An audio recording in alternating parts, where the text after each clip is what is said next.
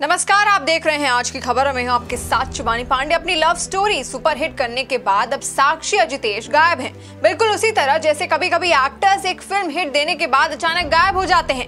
हाल ही में साक्षी अजितेश कोर्ट गए थे, जहाँ पर अजितेश के साथ मारपीट हो गई। हाईकोर्ट ने उस पर पुलिस को फटकार लगाते हुए साक्षी और जितेश को सुरक्षा देने को कहा।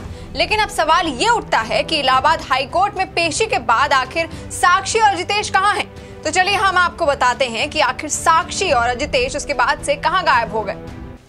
उत्तर प्रदेश के बरेली ज़िले की बिथरी विधानसभा सीट से विधायक राकेश मिश्रा, उर्फ़ पप्पू भरतौर की बेटी साक्षी मिश्रा और अजितेश की शादी की खबर ने मीडिया में खूब सुर्खियाँ बटोरी। एक वायरल वीडियो के बाद चर्चा में आया ये मामला इलाहाबाद हाईकोर्ट तक पहुँचा।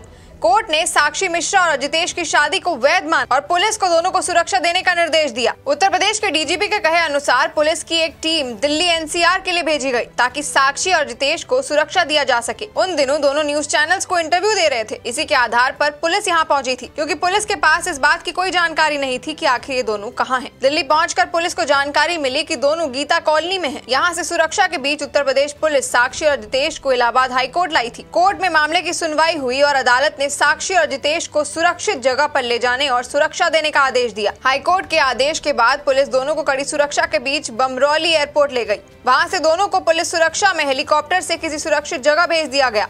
हालाँकि सुरक्षा कारणों से जगह का खुलासा नहीं किया गया है। तो इलाहाबाद हाईकोर्ट में पेशी के बाद से साक्षी और जितेश अचानक गायब हो गए और लोगों के मन में सवाल उठने लगा कि आखिर ये दोनों कहाँ चले गए। लेकिन सुरक्षा के कारणों की वजह से ये दोनों कहाँ हैं, इस बात की कोई जानकारी नहीं है। ज़्यादा जानकारी और तमाम खबरों के लिए बने रही हमारे साथ और देखते रहिए आज की खबर। नमस्कार।